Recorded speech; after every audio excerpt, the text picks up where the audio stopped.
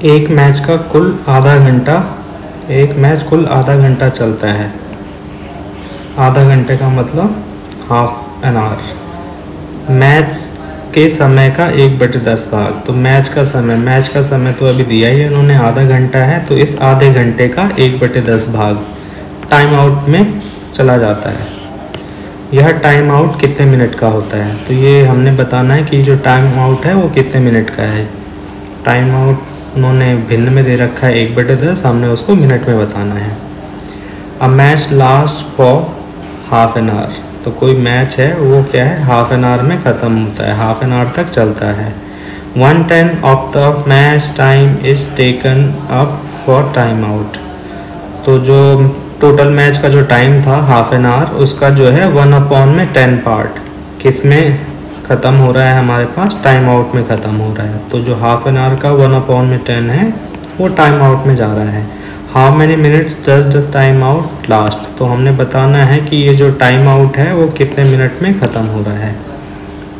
तो चलो स्टार्ट करते हैं यहाँ पे। तो जो मैच का पूरा टाइम है तो वो मैच का पूरा टाइम कितना था? आधा घंटा हाफ़ एन आवर था। ये जो हाफ़ एन आवर है।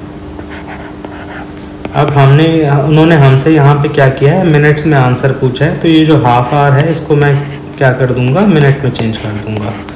तो आर को मिनट में चेंज करने के लिए हम क्या करते हैं? 60 से मल्टीप्लाई करते हैं। तो 2 से 60 30 टाइम्स कटेगा तो ये 30 मिनट हो गया। तो जो मैच है पूरा का पूरा 30 मिनट के लिए चलता है। अब इस 30 मिनट में से कुछ टाइम आउट में टाइम लिया जाता है। अब वो टाइम आउट में कितना टाइम लिया जा रहा है? वन टेंथ इसका, ये जो थर्टी मिनट है, इसका वन टेंथ तो जो आंसर रहेगा यहाँ पे, हम क्या कर देंगे कि जो थर्टी मिनट है, इसका वन अपॉन में टेन पार्ट निकाल देंगे। ये ज़ीरो से ये एक ज़ीरो कैंसिल हो जाएगा वन इंटू थ्री कितना बन जाएगा? थ्री मिनट तो जो थ्री मिनट हैं, वो किसमें जा रहे हैं? टाइम आउट में जा रहे हैं। और यही उन्होंने हमसे निकालने के लिए बोला था कि टाइम आउट में कितना टाइम लग रहा है। तो थ्री मिनट्स ऐसा ऑप्शन हमारे पास ऑप्शन बी है। तो ऑप्शन बी को यहाँ पे टिक कर देंगे।